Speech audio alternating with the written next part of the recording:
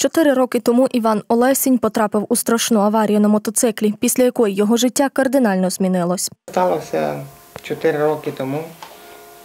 Внаслідок падіння з мотоцикла. Якось на повороті не, не справився з керуванням і якось так залетіли. Тоді лікарі діагностували у хлопця компресійний уламковий перелом тіла С7 і пошкоджений спинний мозок. Одразу вдалося зробити операцію, на яку родичі витратили чи не всі кошти. Ми йому поначалу допомогли були коштами, але того було замало. Тобто ми родичами зібралися, допомогли, ну то пішло лише на операцію. Потім йому допомогли були і друзі. Здавалося б, найгірше позаду, але ні. На Івана ще чекала обов'язкова реабілітація. Зразу не можна було, бо появилися пролежні, потім довго лікувалися. Ну, перша реабілітація була десь біля року. Вона проходила у Трускавці. Я був два тижні там. На той час то коштувало десь 40 тисяч. Проте зараз такі реабілітації стали дорожчими, і робити їх потрібно хоча б кожні три місяці. Реабілітації треба більш часті, не лише раз у рік. А, Реабілітація коштує на місяць 93 тисячі. Тобто суми в сім'ї немає такої. То є дуже велика сума для сім'ї. Є і в Україні дуже багато, але є дуже багато в Україні, що вони займаються але лише людьми, які можуть передвигатися. Тобто немає санаторія самого, в якому вони можуть бути, можуть там відпочивати. Є один в Трускавці.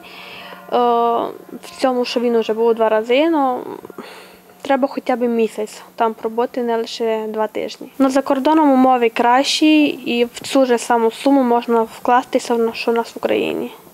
Іван намагається зробити усе можливе, аби знову жити повноцінно. Родина навіть закупила вже вживані тренажери, завдяки яким хлопець може тренувати спину та руки.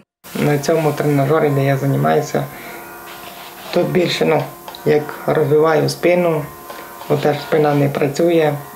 Треба розвивати м'язи спини, щоб міг ну, нормально сидіти. І активно шукають і такі тренажери, які допоможуть йому стати на ноги. Таких, які, з якими він саме буде ноги собі розробляти. Тобто він руками буде піднімати собі і ноги. Є такі, що він це пересуває там як коліщата, ну, що піднімається, він сідає і піднімається. Там спеціально є мотощик, який його піднімає, аби він стояв, і ноги йому в колінах, саме йому закріплює, щоб коліна не згиналися. Як кажуть родичі Івана, надія хлопця покидала не раз, але зараз він сповнений надій та бажання зробити все можливе, щоб повернути собі нормальне життя. Поначалу він, чесно, він е, дуже в то вірив, але потім він був поламав ногу і дуже впав духом. Ну, поклав собі. Не хотів взагалі нічого робити. Але Адика до нього прийшла і його мало подбо- подбадьорила. І далі хоче, буде старатися, будемо йому тому допомагати. Всі ми, може, люди, небайдужі будуть нам допомагати. Тож родина звертається до всіх небайдужих допомогти юнакові знову стати на ноги і подарувати шанс на одужання. За контактами родини можете звертатися до редакції нашого телеканалу.